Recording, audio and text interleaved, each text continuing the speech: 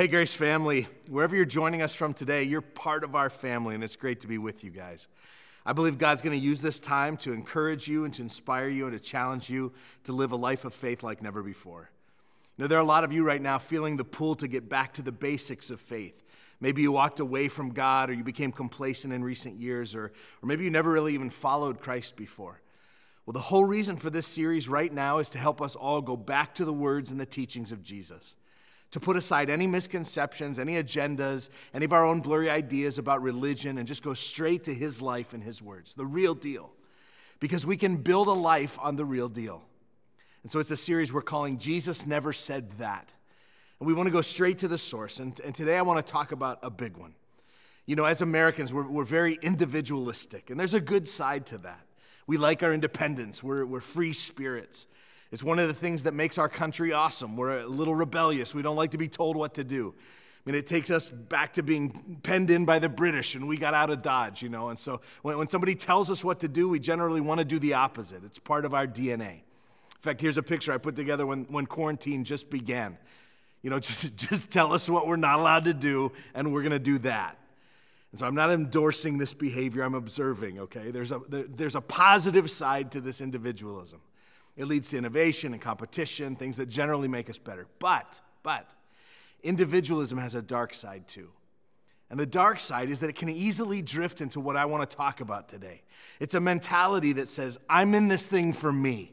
I'm in it to win it. I'm, I'm, looking out for number one. Nobody else matters but me and mine. And it's interesting that this pandemic that we're going through right now can actually magnify this dark side.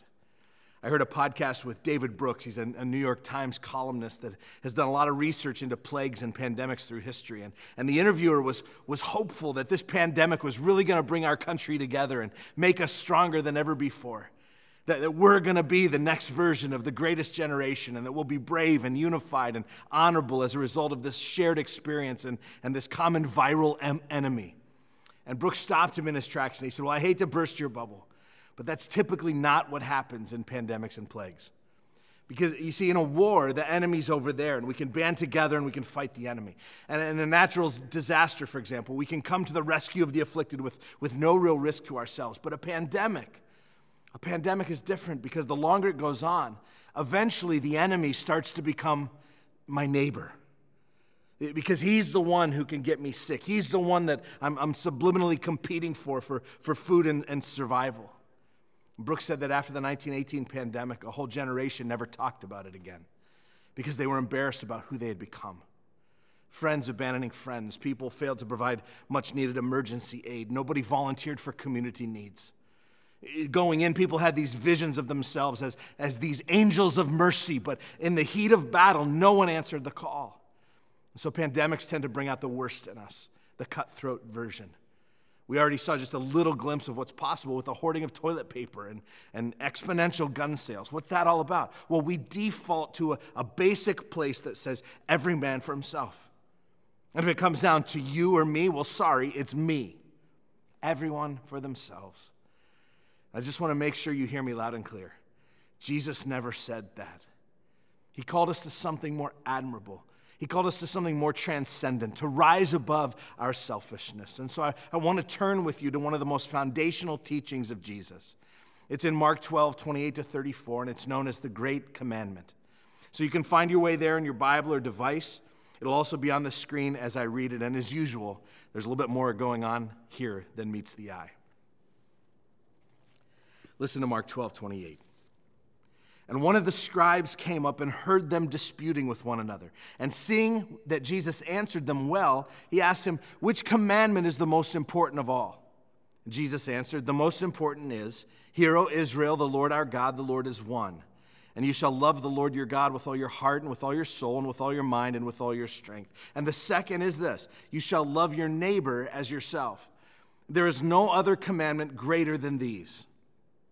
And the scribe said to him, You're right, teacher. You have truly said that he is one and that there is no other besides him. And to love him with all the heart and with all the understanding, and with all the strength, and to love one's neighbor as oneself is much more than whole burnt offerings and sacrifices. And when Jesus saw that he'd answered wisely, he said to him, You're not far from the kingdom of God. And after that, no one dared to ask him any more questions. And so this is such a life shaping passage. But before we dive fully into it, I want to deal with that last little line there because that last line tells us that there's more going on. So, something that our modern ears don't hear. We hear love, love, love, and what a sweet little passage. Love God and love each other, rainbows and cotton candy and fairy dust. And some of you who are Christians, you've heard this passage so many times. It's like it's like living next to the train tracks. Anybody ever lived next to the train tracks? I had a friend who did, and I'd, I'd, go over to his house and I'd say, Man, how can you stand all this noise with all those trains going by? And he said, I don't even hear the noise anymore. Your, your ears have become conditioned. That's what happens with some of you with this passage. But to the original hearers, they heard something that made them afraid. Did you see that in verse 34? They weren't even mad, they were too scared to be mad. They were shell shocked. They were petrified. No one dared ask him any more questions. Well, what did he say? Let me begin with just a few musings about law and love and politics. All right, ready? First of all, you have to understand that this passage picks up in the middle of a heated debate. Jesus was debating a group called the Sadducees. They were kind of the liberals of the day. They believed a, a version of moral relativism and even naturalism naturalism, which would say that this life is all that there is. So they don't believe in a resurrection of the dead.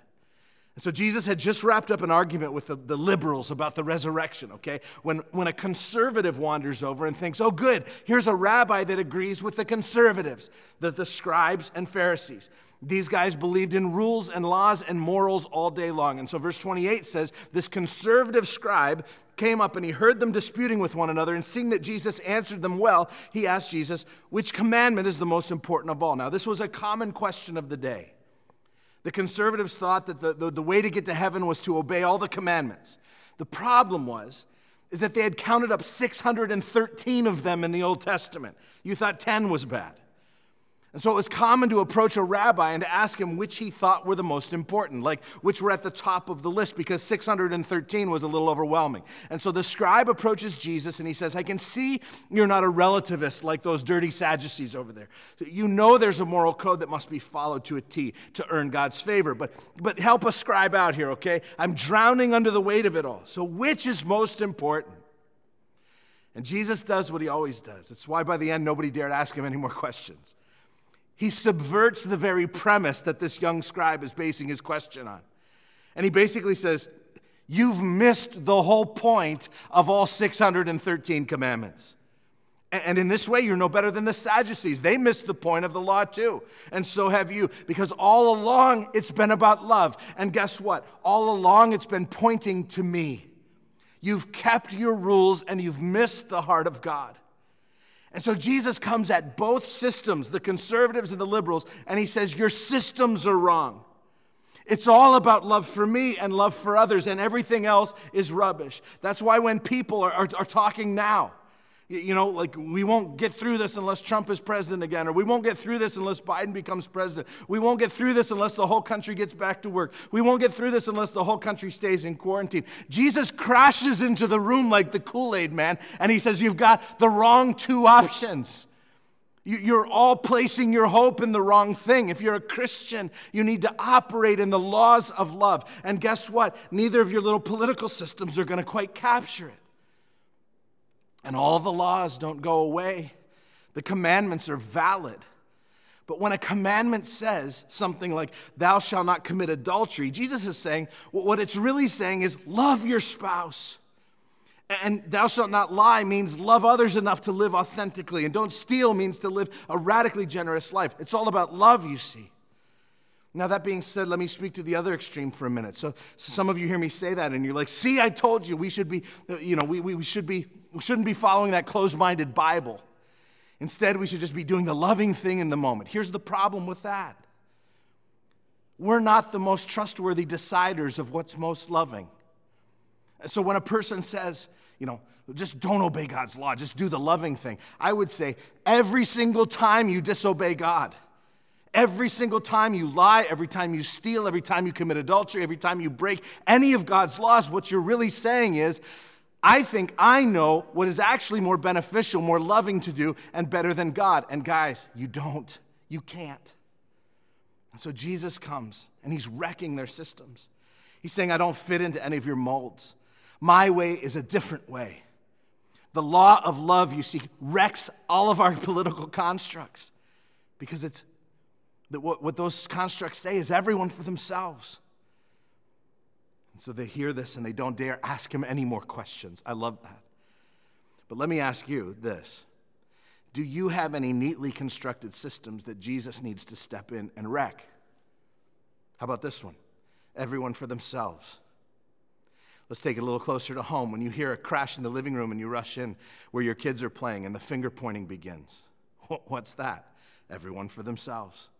Or something goes wrong at work and it's, you know, cover your, your butt time and everyone for themselves. Or your marriage is crumbling and you think, if my spouse would just do this or that and this and this, it's everyone for themselves. But Jesus comes in and he wrecks our systems. Jesus didn't say that. Do you know what he did say? He said, it's we over me. This is the way of Jesus. This is the way of the gospel, the way of the cross. And so I want to walk through the great commandment with you in Mark 12 and explore four decisions of a we over me life. And so let's go back to verse 29. Remember, Jesus is being asked what's the most important commandment, and he says this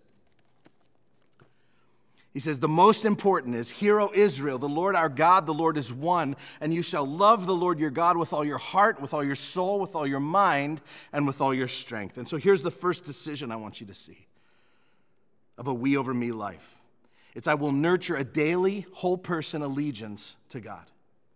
It begins and ends here, guys. This is the most important. Jesus says, Love God with every part of you.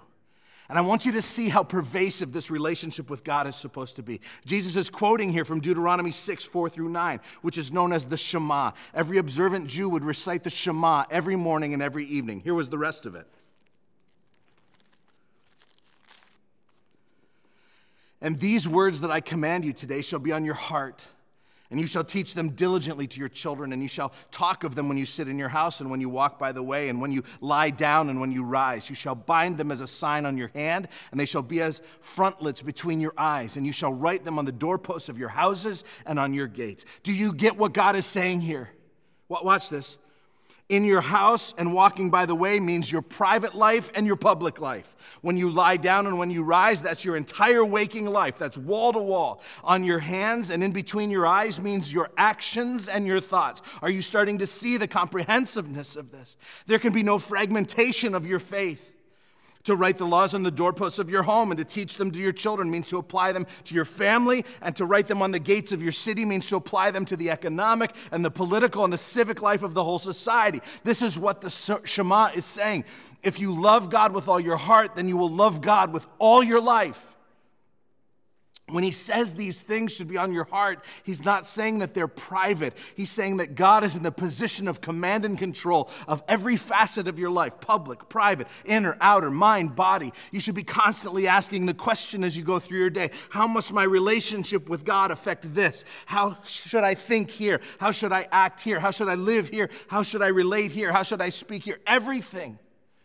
It's a daily, whole person allegiance.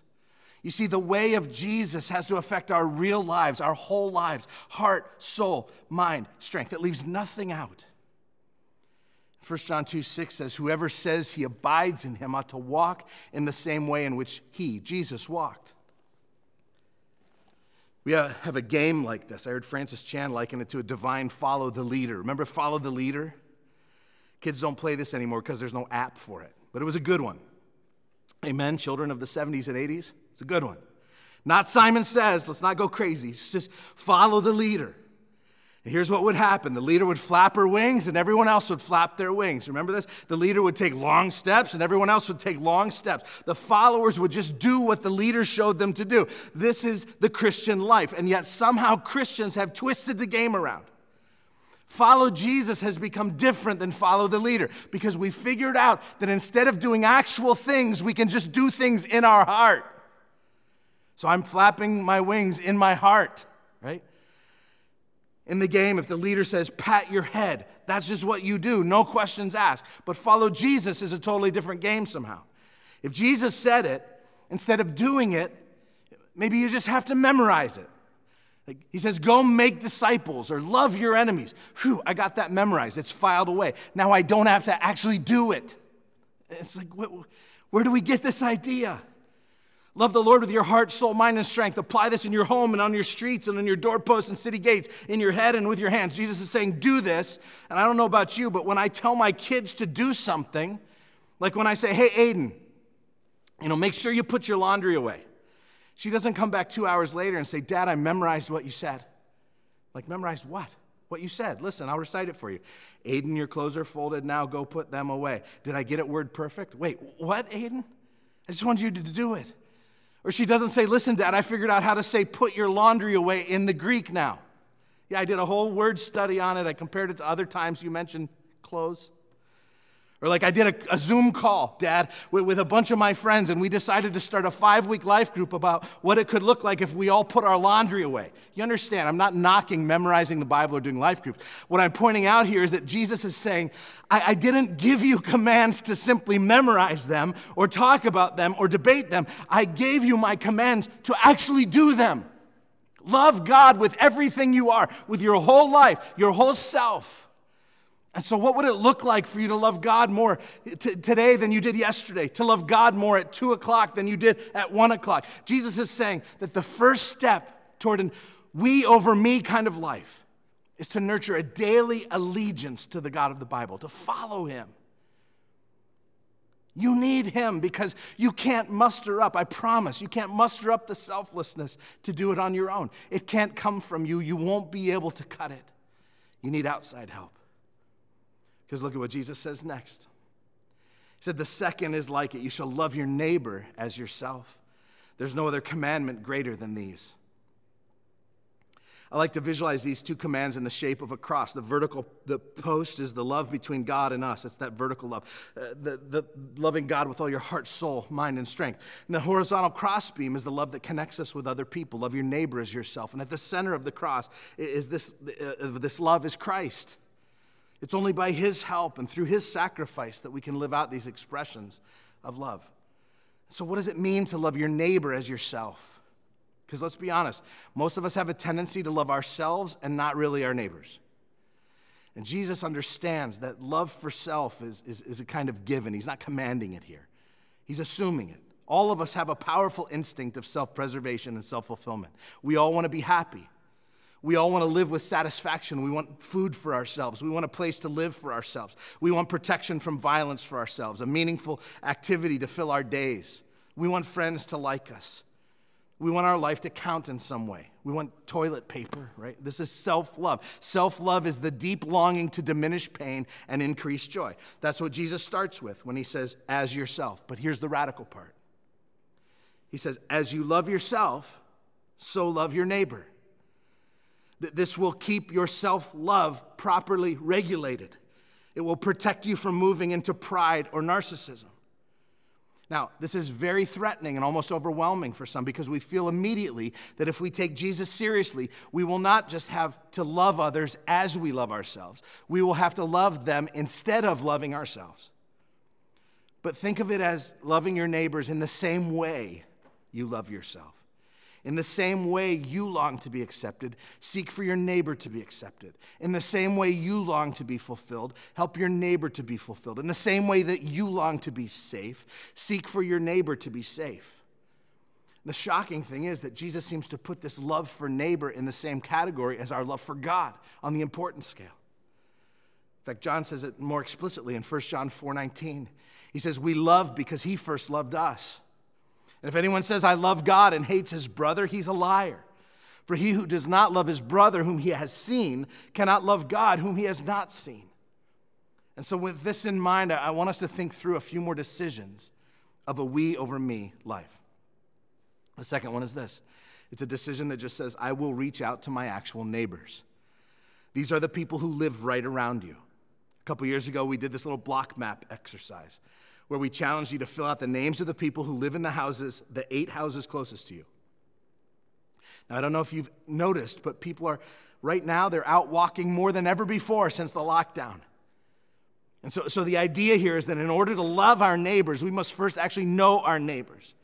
Dave Runyon wrote this book, The Art of Neighboring, and he said in a, a, recent interview that I did with him that the key is to, to push through that awkward moment, the, the awkward moment many of us face that says, Hey, I know that we've lived next to each other for like 10 years, but what's your name again?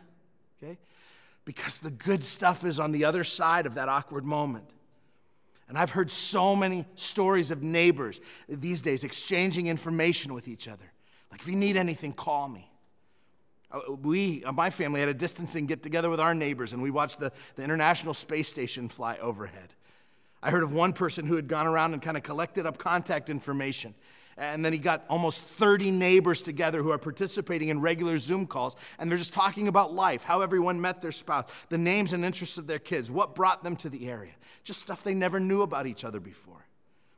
And here's the deal as you become a coordinator of efforts like these in your neighborhood, you might see your status change from loving your neighbors to becoming the pastor of your neighborhood or your apartment complex or your condo or whatever is your situation.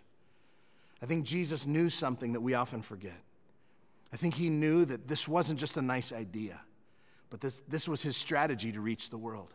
He knew that the most effective way for the good news to spread was not through church services or seminars, but instead when ordinary people like you and me show love to the actual neighbors, the people that we brush up against every day, and we leave them scratching their heads about the love that we show. It doesn't make sense. It's a good plan, and we all have a part to play. Here's the third decision it just says, I will be proactive in caring for people in my path. I get this wording from another passage over in Luke 10 when Jesus is talking about love for neighbor, and someone asks him a clarifying question. He asks, Who is my neighbor? I think what he's asking is, Where does this whole neighboring thing stop? Like the dude next door and then call it quits? Is that all right? And Jesus responds by telling the story of the Good Samaritan. And if I were to summarize Jesus' answer to this question, Who is my neighbor? I think here's what he said Anyone in your path. You see, it seems that God brings people in, into and out of our lives at different times, and we're supposed to care for them while they're in our lives. Remember the story of the Good Samaritan. The priest and the Levite passed by this struggling man on the side of the road, but the Samaritan stopped and showed him care in some profound ways. Dr. Martin Luther King had some, some great insight on this story. He said Christians have to change the question the priest and the Levite who ignored the man's needs as they passed by, they asked the question If I do stop to help this man, what will happen to me? The Good Samaritan reversed it. He asked the ultimate we over me question. He asked, If I don't stop and help this man, what will happen to him? This is the heart of the gospel. This is the heart of neighboring, to love others as you love yourself, to care for others as you would want to be cared for yourself, to think, what if that was me lying on the side of the road in my time of need? How would I want someone to treat me? But there's something that regularly gets in the way of showing love to people in our path, and it's our tendency to generalize. I think this is one of the biggest enemies to caring for people. It's what makes us not even think twice about caring for them. It's when we say, all blank people are blank. It's a generalization. It's an easy way to justify ourselves in not caring for them. And so we say, all rich people are greedy. All fat people are slobs. All young people are lazy. All old people are grumpy. All black people are angry. All white people are privileged. All pastors are handsome. You know, whatever it is. We all have our cross to bear. Listen, I'm, a, I'm serious. I'm serious. As soon as we can create a category and stick someone in it, we can justify why we don't need to love them. How about this current one? All people who want the quarantine to be over care about money more than lives. Or all people who want to stay in quarantine are living in fear, not faith. Guys, we can all have opinions about this, but when we create a category and we stick someone in it, pretty soon we can hate them. We, we got to get away from this. What does Jesus say? The story of the Good Samaritan, who is my neighbor, is a story of love across categories. The Samaritan shouldn't have cared for the Jew, and the Jew shouldn't have let the Samaritan care for him, and instead love one the day. Be proactive in caring for the people in your path. Here's the last decision I want you to see. The most radical expression of a we over me life is this I will choose to love instead of cancel my enemy. You see, Jesus, as he's usually doing, he's upping the ante on just loving your neighbor. I want you to listen to this from Matthew 5 43 and 44. He says, You've heard that it was said you should love your neighbor and hate your enemy. But I say to you, love your enemies and pray for those who persecute you. Guys, we live in a cancel culture. This is happening a lot these days. So, so the political left, it says if someone says that, you know, some, says something that doesn't fit their modern narrative, that person gets canceled. And so uh, we'll protest violently on campus to make sure that person that we don't agree with can't speak. Or if a person's posting something offensive 10 years ago on Twitter, we're going to make sure that they can't host the uh, Oscars. They're canceled.